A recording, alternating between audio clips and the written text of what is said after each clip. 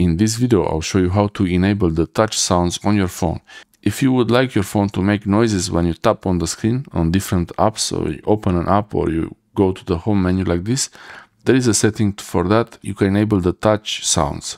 So instead of just being quiet when you open the, the phone is not on silent. I press volume down now and see the menu for the sounds.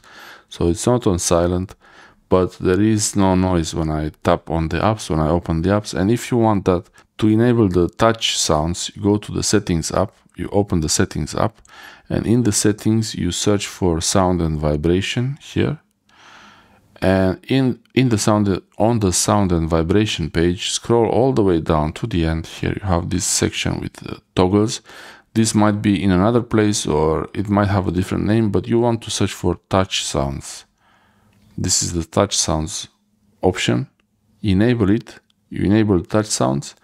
And now you can hear it.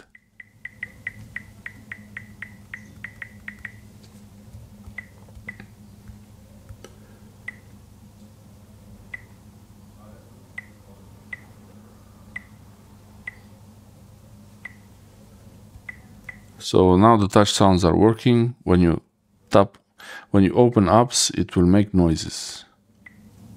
This is, this is helpful to confirm when the button is pressed and the app is opening. Thanks for watching.